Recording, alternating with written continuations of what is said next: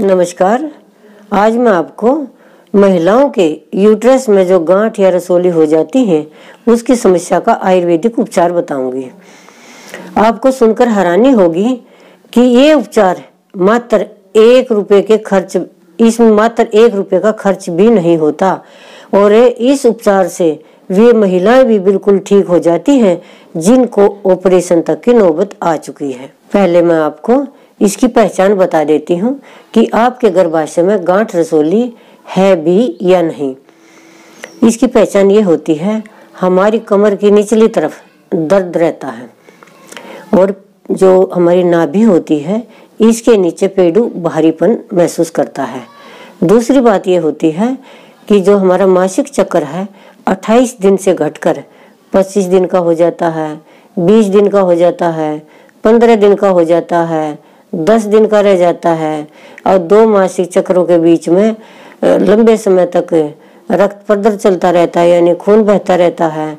कभी कभी क्या होता है? गांठें आनी शुरू हो जाती हैं और महिला बड़ी अनिमिक हो जाती है, महिला में खून की कमी हो जाती है। और भी इसकी कई पहचान है, जैसे महिला को खांसी आ गई। तब भी पेशाब निकल सकता है। ज़ोर से हंसे, तब भी ये समस्या आ सकती है। छींक आ गई, तब भी ये समस्या हो सकती है। तो इन सारे लक्षणों को जानते हुए अगर आप चाहें तो आप अपना अल्ट्रासाउंड करवा सकते हैं। तो फिर इससे आपको ये पता चल जाएगा, ये समस्या हमें है भी या नहीं। अगर है तो कितनी है? पहले मैं आपको वो तरीका बता देती हूँ, जिसे हम पीढ़ियों से प्रयोग करते आ रहे हैं। और जिसमें मात्र एक रुपये का खर्च होता है।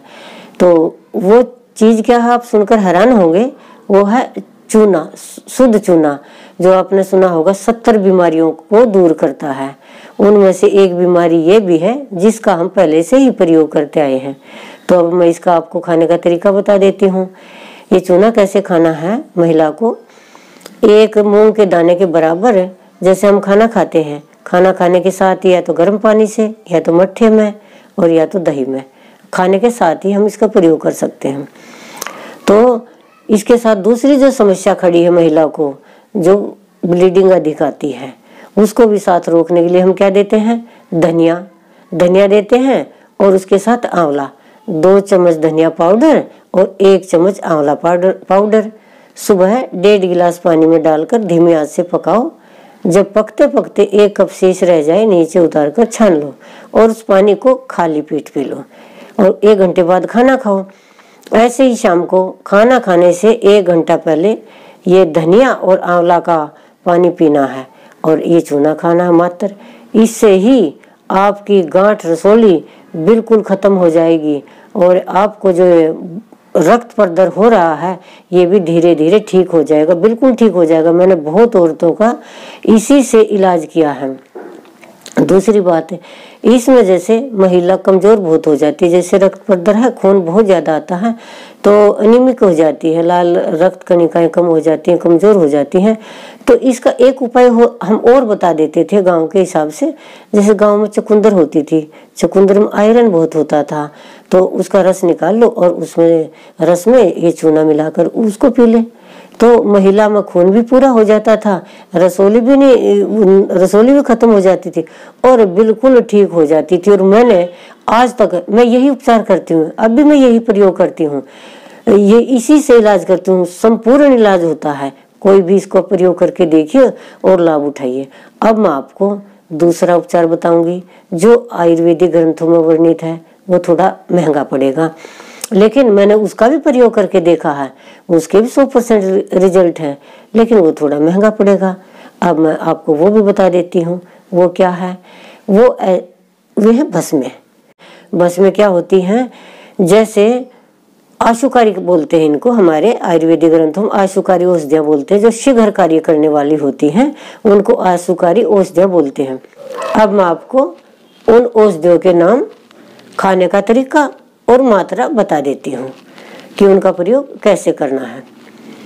आपको पहली चीज़ लेनी है शिला सिंदूर, दो ग्राम। दूसरी चीज़ है मुक्ता पिष्टी, चार ग्राम। तीसरी चीज़ है कहरवा पिष्टी, पाँच ग्राम। चौथी चीज़ है परवाल पिष्टी, दस ग्राम।